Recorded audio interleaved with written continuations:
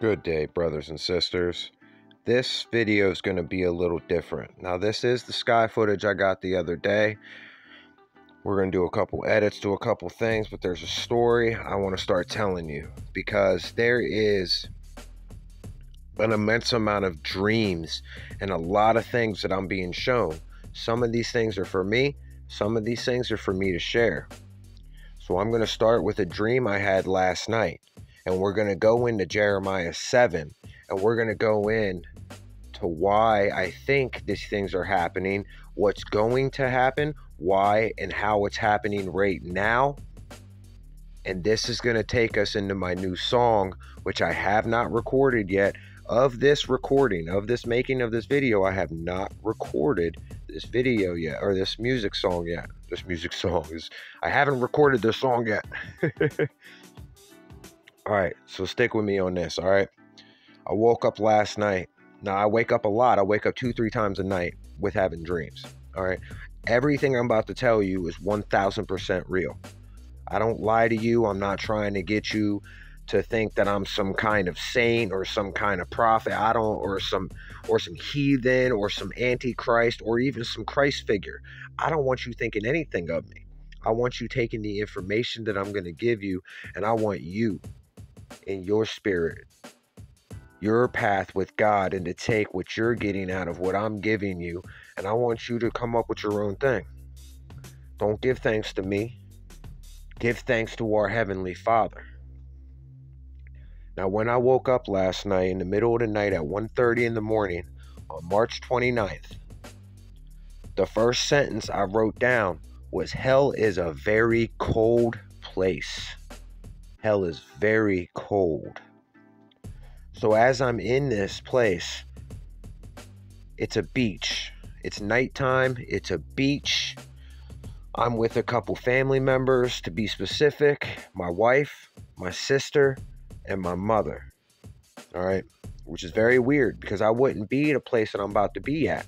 Now we're at this beach. It's nighttime. It's like a party, all right? It's like a rave. This ain't the first time of a dream of a party or some kind of festival that I was at recently. But at this one, it was also underground. So there was this warehouse, and you would enter through the underground. This place was packed, and I mean shoulder to shoulder packed.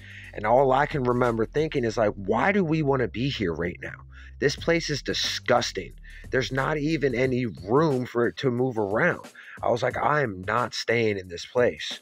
I'll be waiting out in the car. Y'all do whatever you want to do. I'll be waiting out in the car. So I make my way to the car. And once I got close to the parking lot, I was like, dang, my keys. I don't got my keys on me. Oh, that's right. My wife's got them. So let me make my way back into this filth.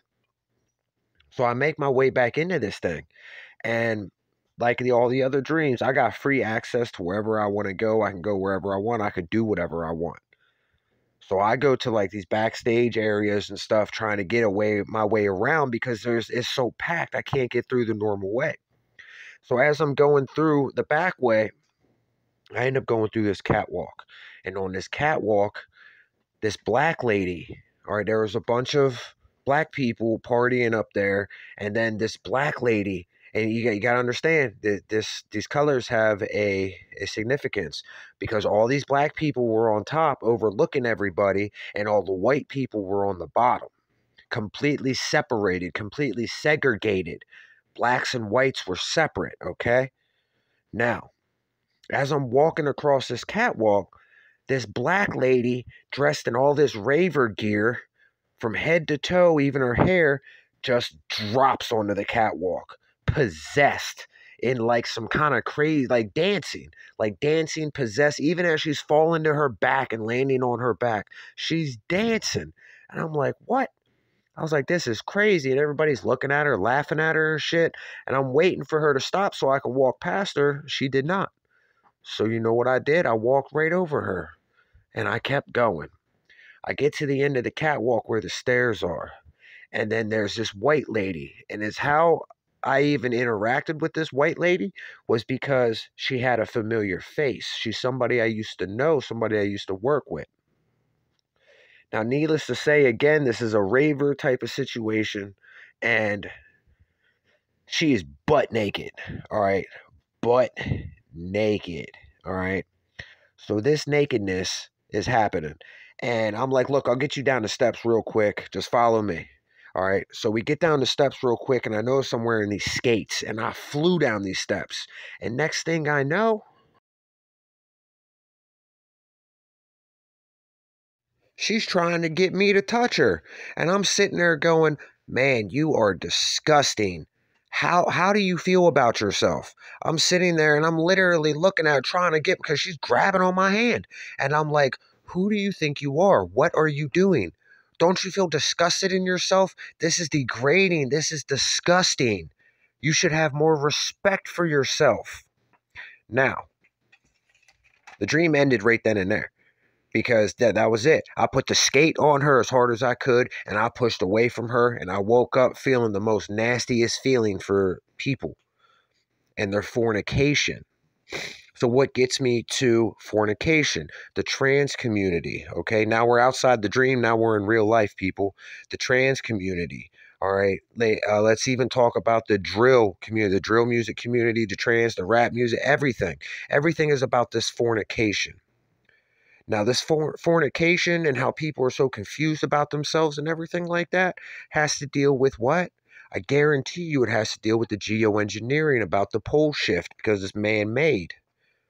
Them putting these metals in the sky and our food and everything we eat, drink, breathe is driving us crazy.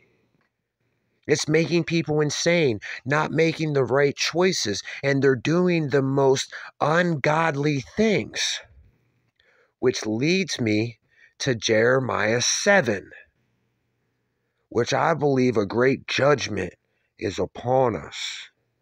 Now, I don't think the bodies are just going to drop. I believe we are run by spirits and souls.